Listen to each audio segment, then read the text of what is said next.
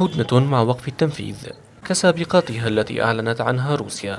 آخرها كان من المقرر أن تبدأ منذ فجر أمس في مدينة حلب وريفها لكنها قوبلت بتصعيد عسكري من قبل النظام على المناطق المتفق عليها ضمن الهدنة. المدينة المشتعلة على كافة جبهاتها أعلنت فيها روسيا عن هدنة مدتها 48 ساعة أثناء سقوط براميل متفجرة وصواريخ على أحياء حلب.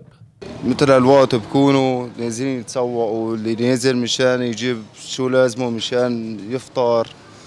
وقاعدين في أمان الله ما نسمع غير صوت برميلين نزلوا نزلوا هون في المبنى راح شهيدين وفي يعني جرحى. السكري وقاضي عسكر ومساكن هنان وبعيدين والطراب وأحياء أخرى تتجدد أسماؤها مع كل توثيق لقصف أو مجزرة في حلب. بالإضافة إلى بلدات وقرى يطالها القصف اليومي في ريف المدينة. توثيق قصف كل تلك الأحياء نفته روسيا بتصريح من وزارة خارجيتها يصف الالتزام في تطبيق هدنة حلب بالمتماسك ورافقه دعوة منها للسعي إلى هدنة طويلة الأمد. وعلى أطراف المدينة تستمر عمليات القصف بالتناوب بين النظام والميليشيات الكردية على طريق الكاستيلو في ظل الهدنة المعلنة. المنطقة الأهم وشريان الحياة الوحيد في مدينة حلب.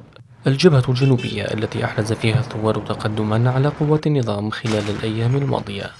لا زالت تمعن بخسائر الميليشيات المساندة للنظام وآخرها 45 من القوات الإيرانية قتلوا اليوم أثناء محاولتهم التقدم إلى قريتي خلصة والحويز في ريف حلب الجنوبي.